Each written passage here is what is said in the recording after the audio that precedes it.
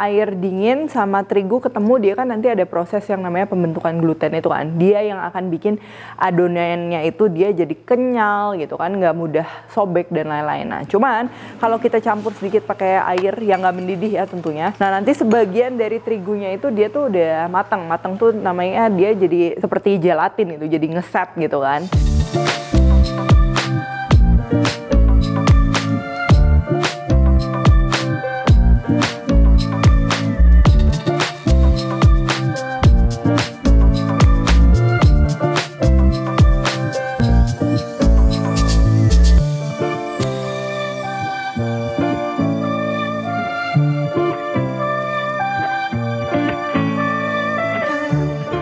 guys, buku resep aku yang bertemakan Indonesian Fusion Food sudah tersedia di seluruh Gramedia dan toko buku Gunung Agung. Kalian juga bisa beli melalui Tokopedia, Shopee, dan Bukalapak dengan keyword Indonesian Fusion Foods. Yuk segera beli, jangan sampai kehabisan.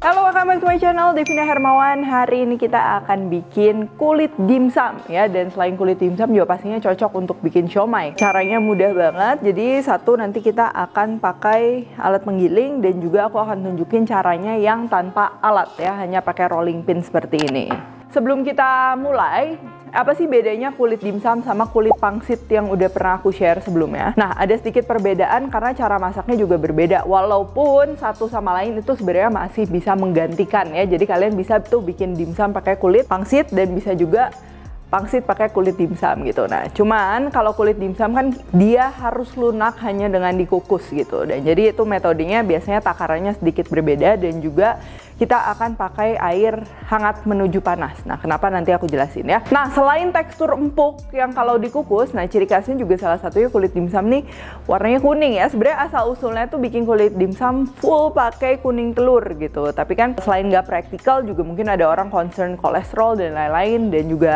mahal gitu. Jadi uh, sekarang banyak juga yang bikinnya tuh pakai pewarna gitu ya. Oke, langsung aja. Jadi ini kita akan bikin dua warna, yang satu pakai pewarna, yang satu tidak pakai pewarna, tapi bahannya sama aja ya. Jadi kita perlu terigu, garam dan juga air, air hangat menuju panas yang tadi aku bilang ya. Dan kalau untuk yang warna kuning kita perlu terigu, garam, air hangat dan juga pewarna kuning. Nah, ini pewarna kuningnya pakai yang warna kuning telur. Kalau kalian adanya yang kuning cerah gitu, kuning biasa tinggal dicampur aja satu tetes warna merah ya nanti dia warnanya jadi lebih bagus gitu. Nah cara bikinnya juga gampang banget. Ini air hangat menuju panas ya jadi jangan sampai mendidih gitu. Cuman kalau kita pegang tuh kita bisa tahan tapi kita udah ngerasa kepanasan. Nah biasanya segitu. Terus ini kita campur aja sama garam aduk-aduk-aduk terus kita masukin perlahan dengan bantuan sumpit ke terigunya ya.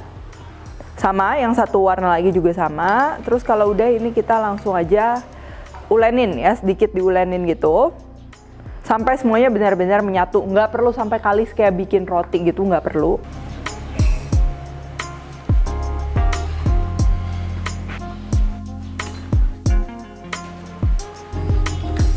Kalau udah kayak gini ini kita bungkus aja di plastic wrap ya. Dua-duanya ini kita bungkus. Dan kita akan resting minimal satu jam ya supaya adonannya relax. Jadi ketika kita tipisin itu mudah ya. Dan juga Selain itu nanti aromanya, aromanya dia nggak akan bau mentah.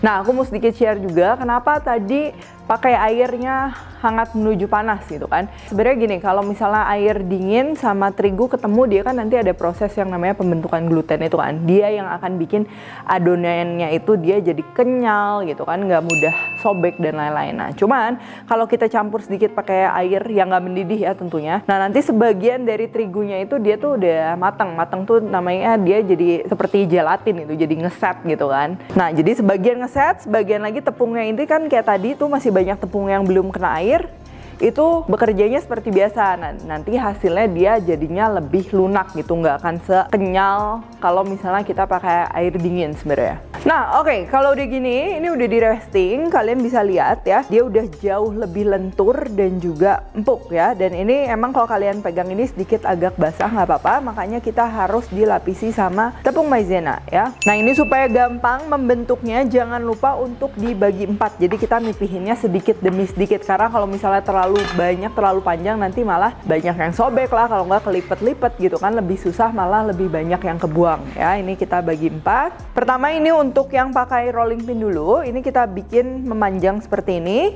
nah kalau udah ini kita potong-potong aja Tuh jadinya kurang lebih kecil kayak gini. Terus kita buletin, terus kita pipihin ya. Abis dipipihin, ini kita akan giling pakai rolling pin dengan gerakan maju mundur ya. Nah sebenarnya kalau kalian mau bikin lembaran besar pakai rolling pin juga itu bisa banget. Tapi untuk bikin dia jadi beraturan itu emang lumayan tricky ya. Cuman bisa aja ini kalian semuanya manual gitu ya.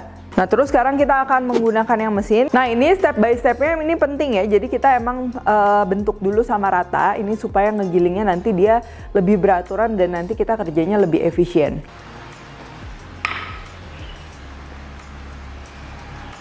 Kalau udah semua lapisin lagi pakai tepung maizenanya jangan lupa.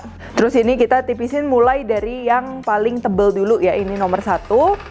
Lalu nanti kita bisa loncat dua nomor, dua nomor, dua nomor sampai yang paling tipis. Lalu ini kita lompat aja langsung ke nomor tiga, tipisin lagi. Dan kita lanjutkan, di skip-skip aja jadi satu, tiga, lima, boleh ke tujuh, terus ke delapan gitu ya.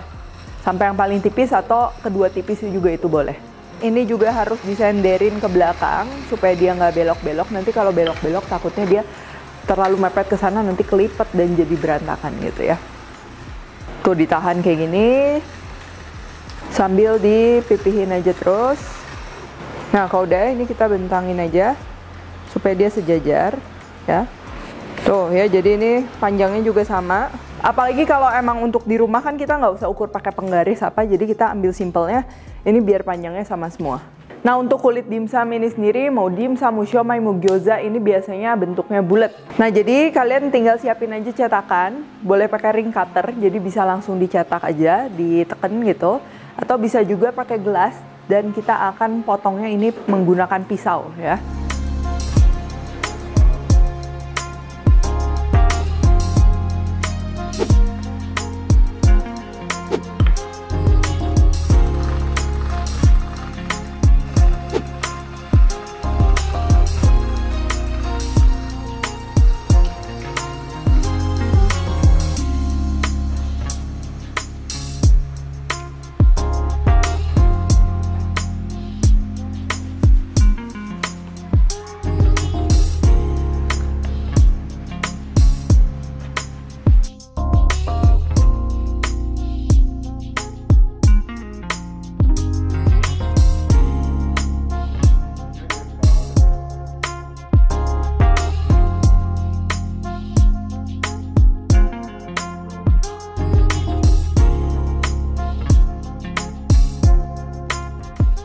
Kalau udah kayak gini, ini mau disimpan as it is kayak gini juga boleh ya. Kalau di kulkas bisa 3-4 hari, kalau misalnya di freezer, asalkan kalian tutupnya benar, jangan ada terekspos udara ya. Jadi kedap udara itu bisa sampai 1-2 bulan ya. Jadi bakalan lebih awet. Jangan lupa juga ditaburin maizenanya itu harus cukup ya maizena atau tepung tapioka gitu.